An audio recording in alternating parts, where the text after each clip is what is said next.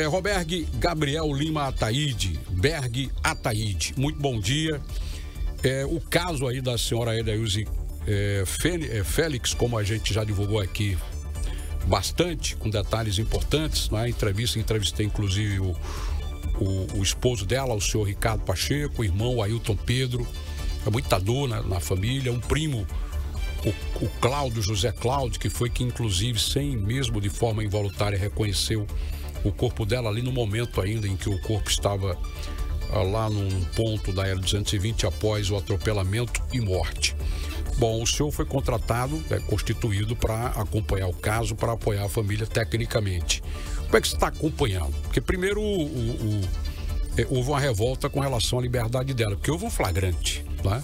Foi impróprio, mas houve. Né? Foram populares que, que prenderam essa mulher e, claro, entregaram, ela não foi lixada, entregaram é, a, a, família. E outro detalhe que, segundo o, o Cláudio levantou, é de que o teor de alcoolemia que ela tinha no corpo era altíssimo, o dobro do que a lei permite, bem superior do que a lei permite, teria sido medido via bafômetro.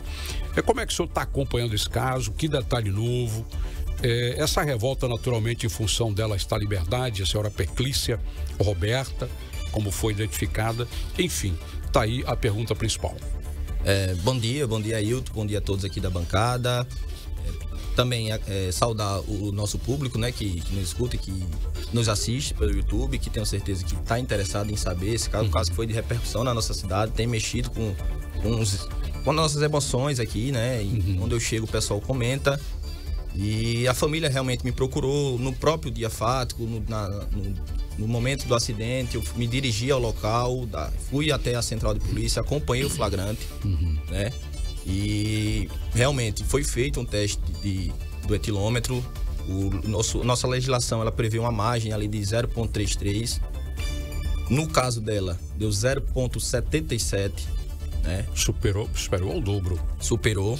E no momento da lavratura do flagrante, Ailton, foi constatado que ela, em seu depoimento, ela alega que fez o uso de Listerine. Uhum. Entenda, é um modo de defesa, certo. né?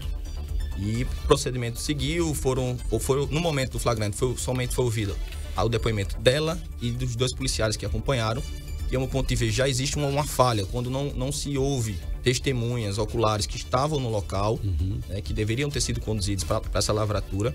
E acabou que na lavratura do auto prisão em flagrante foi é, é, tipificado né, no artigo 302 do, do Código Trânsito Brasileiro. E aí se torna um crime culposo. Né? Uhum.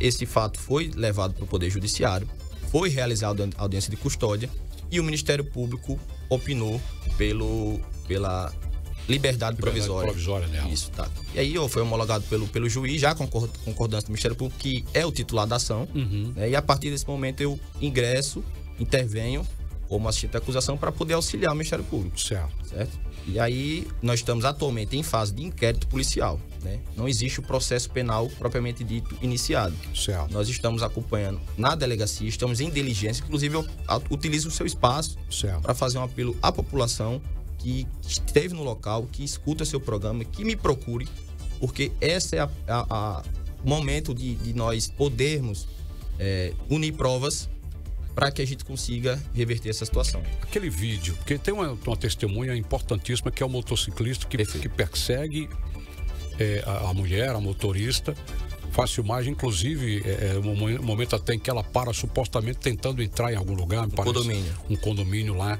condomínio fechado, né? Isso. Aliás, condomínio geralmente é, é, é, fechado. Ele seria, esse vídeo, ele é peça importante aí? Inclusive, esse vídeo sequer hoje consta no processo. Uhum. É, então, é assim, a população precisa entender que justiça é prova. Certo. E se no momento da lavratura do auto prisão em flagrante... Isso, é, não, isso não estava lá, isso o não estava lá, não estava lá, não estava testemunhas, não estava uhum. esse, esse motorista que, uhum. que prendeu em flagrante, né? Motociclista uhum. que prendeu ali em flagrante, que é um direito do povo, qualquer pessoa pode prender em flagrante. É, o, que é, é, uma ação imprópria, né? Mas, isso, mas é... é um direito, né? Totalmente permitido. A lei brasileira permite. Isso. E aí, o nosso papel hoje, como assistente de acusação, é unir essas provas eu consegui identificar o, o motociclista, estou em diligência para conversá-lo. E isso aqui é uma, tese aberta mesmo, né? Porque não existe segredo. Uhum. Para que ele consiga ir a, a fazer seu depoimento eu particularmente vou juntar dentro do processo é, é, as, os vídeos que estou recebendo, não só uhum. aquele outro. Tem mais. Tem mais. A placa do veículo ficou no chão, lá na, na, na pista, na pista de que, rolamento. E depois que é, ele fala que ela bateu numa placa de, de sinalização lá na, na placa de sinalização. Não posso acusá-la, né? uhum. né? Mas o que já recebi também são informações de pessoas que quase foram atropeladas, vítimas também. Isso.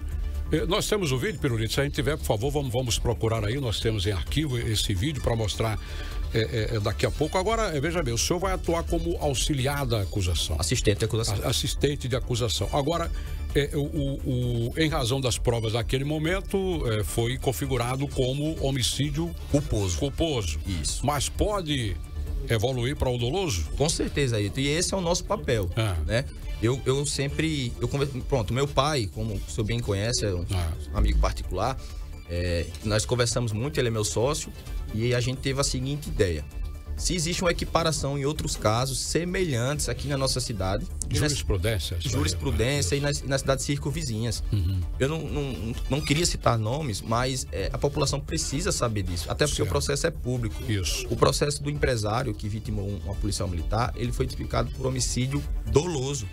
O caso da, da senhora que faleceu, lamentavelmente também, em Feira Grande, foi homicídio doloso, só que qualificado. A senhora e o rapaz. A senhora e o rapaz, perdão. Inclusive, o autor tá preso ainda. Inclusive, também. Tá preso também. Né? E já foi a defesa do, do rapaz interpôs diversos é, é, modalidades para tentar tirar o rapaz, uhum. até agora não conseguiu. Então, assim, a gente só quer uma equiparação. Né? Aquele famoso ditado: uhum. o pau que dá em Chico, dá em Francisco, né? No popular. Uhum. A gente só busca isso. E só que só, nós só vamos conseguir isso por meio de prova. Se a gente conseguir comprovar que existiu o dolo. Que é o chamado dolo eventual. O dolo eventual. Assumir o risco, né? É. é, é o, o, eti, o etilômetro disse tudo, a gente está com o vídeo agora.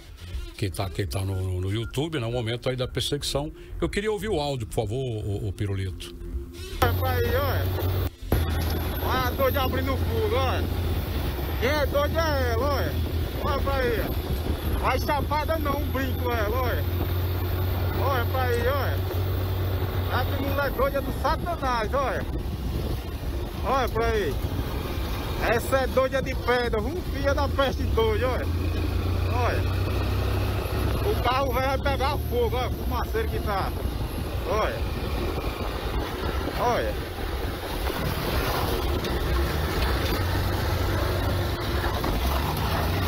Olha.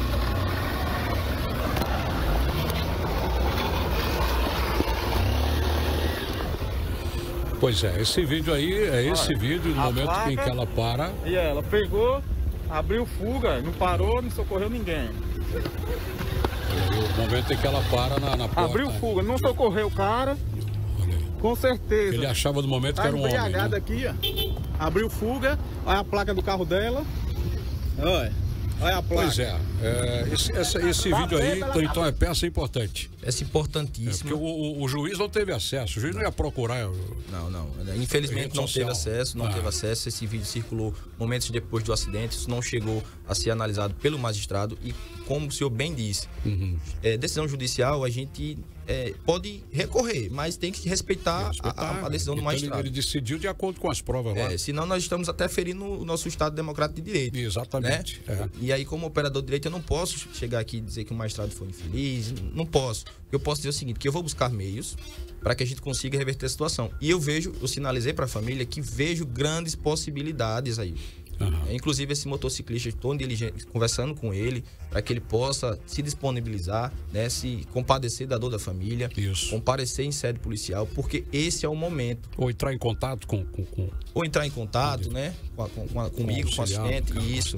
Porque esse é o momento. A partir do momento que o inquérito está instaurado, está, instaurado está na delegacia de, de acidentes uhum. aqui do nosso município, e a gente tem esse tempo de ouvir testemunhas, juntar provas, né, a gente possa, pode ser que gente, nós conseguimos converter certo. o culposo para o doloso. Agora, o, o, inquérito policial, a gente sabe que tem um tempo mínimo de 10 dias, se não me é. engano, 30, 30 10 dias com réu preso. Réu preso. Como não existe... No caso dela, nesse caso, vai ser 30 dias, é. você acha que... É, geralmente é. vai ser esse tempo vai aí. Ser gente... esse tempo aí... Mas como nós estamos em ah, cima, né, nós vamos estar em cima. Pode ser menor o tempo. Pode ser menor, porque até porque, no meu ponto de vista, está mais que claro a autoria. Certo. A, a própria acusada, ela ela O próprio estado do veículo, né? o, o estado do veículo, ela confessou de forma, no meu ponto Uhum. de vista, a partir do momento que ela disse que cometeu o delito, mas justifica de- pelo listerina. Agora, é, é, é, sinceramente, viraria até meme, né? O, todo respeito à defesa, né? Que você deu quanto? Sete? Quanto? O, 0,77. o, o normal 0,33. Isso. Né? Então foi listalino demais, né? Ela fez uma higiene bucal fantástica. É, assim, Ao longo da tarde, eu acho, né? É, gente- nós, nós, temos, nós estamos buscando também, é, é, como em outros casos aqui do nosso município, saber onde é que ela estava na festa. né? É, é, é possível que tenham imagens, né? Se ela estava em bar, se ela estava em, em festa particular, em alguma residência, né? Bom, aí, claro, é, inclusive eu já falei aqui que eu estou tentando, tentei através até de um amigo, é, um advogado também, falar com a defesa, eu, eu não sei quem é, ma- mas estou tentando falar, o espaço está aberto, né? Perfeito. quero deixar isso aqui muito claro. Agora, vamos lá, é, tecnicamente, né? Primeiro, o que eu queria fazer aqui uma observação, é, primeiro, o pessoal, ah, o juiz tomou a decisão, né? Nós não tínhamos aqui no programa esse detalhe de que essas provas eram essas, que o juiz é inerte, né? O juiz ele não sai por aí procurando, sabe, saber das coisas. Que, quem tem que levar a informação são as provas, né? Polícia, Ministério Público, testemunhas, como o senhor, como o senhor já colocou. Se, se for mantido o culposo, qual seria a pena dela prevista no Código Penal? Pronto, então é o seguinte, é, é, foi esse ponto é muito importante, porque Uhum. a população precisa entender a, a dinâmica do processo. né? Existe um procedimento, se continuar da forma como está tipificado no Código de Trânsito Brasileiro, no CTB, no Se 302... incidir o trânsito, se porque pode ir para o penal, né? Pode ir para o penal. Isso. Se continuar da forma como está, como foi tipificado no, no- no flagrante, é que isso pode ser mudado com a denúncia do Ministério Público, né? Certo, Por isso que isso. eu vejo essa grande possibilidade. Exatamente. Se permanecer dessa forma, Olha aí a vítima, né? é, Ela, ela, o, o detalhe aí, e aí é por isso que causa essa comoção. Nós temos imagem, inclusive, essa é a mãe dela, né? Ela produziu os próprios produtos que vendia. Ela estava indo trabalhar, inclusive, fazendo e fazer entrega. Isso aí gerou uma revolta enorme. Está aí a mãe, muita dor né, da, da, da, da, família dela. Mas é claro que na dosimetria da pena, o juiz é, vai com base daquilo que está lá na, na lei, né? Exatamente. Existe um acordo que eu costumo dizer que é É, esticada, né? No isso. Código Trans Brasileiro, a, a pena ela vai ser de 5 a 8 anos, 5 a 8. né? E se for Se incidiu o penal. se incidir o penal de 12 a 30, se for 12, qualificado, né? For qualificado. É, então assim a gente vê uma, Uhum. uma diferença muito grande, né? Estamos com a imagem do dia do sepultamento, né? muita comoção. Inclusive, a, a missa do sétimo dia dela foi anunciada. A gente vai ver aqui. Está aí a mãe. Essa, essa senhora, se imagina a dor dela. Ela já perdeu o esposo, vítima de atropelamento, um filho. É verdade. E agora a filha que cuidava dela, inclusive ajudava a cuidar dela. Tem um filhinho Espe- especial, especial. tem um garotinho de seis anos que é, que é especial. Né? E, e, enfim, ela tirou, né? essa, essa moça aí, a motorista, tirou uma, uma vida como qualquer vida valiosa, mas é, é, nesse caso aí com esse, com esse entorno, né? com esses detalhes em torno da família, da vida dela. Muita dor mesmo. Bom, então, eh, se incidiu o Código de Trânsito Brasileiro, bom para motorista, vai ser branda. Exatamente. É, Eu considero muito branda di- diante do, né, Da gravidade. Da gravidade. E se for o Código Penal, aí. É Teremos o que rigor da vai- lei, né? O rigor da lei. É. que de acordo com os elementos que podem ser levantados E através pode- desse vídeo, inclusive. E ela pode ser submetida a júri, né? Isso, A vontade a popular, a a soberania popular. né? E, e, assim, mais do meu ponto de vista, fica Uhum. mais que claro que é um caso de, de submissão ao júri, ao crime Isso. doloso. Por Aham. quê? Porque a partir do momento que é incidido o dolo eventual, ela prevê o resultado. Isso. Ela, a partir do momento que você ingere bebida alcoólica, que você, em alta velocidade, atinge uma, uma senhora que estava trabalhando e já tinha atravessado o, o- a Uhum. E faixa de pedestre. por 50 metros. Arrasta por 50 metros a, a senhora. Faleceu na hora. Isso. Né? E você já assume esse risco, você está enquadrado no dólar eventual, você tem que responder O de acordo com a sua estado, conduta. o próprio estado do- da bicicleta que, ela utilizava na hora revela o- né, a violência Exatamente. O, é, da batida. o próprio o veículo, existem Uhum. provas materiais que estão mais que claras, né, Ailton?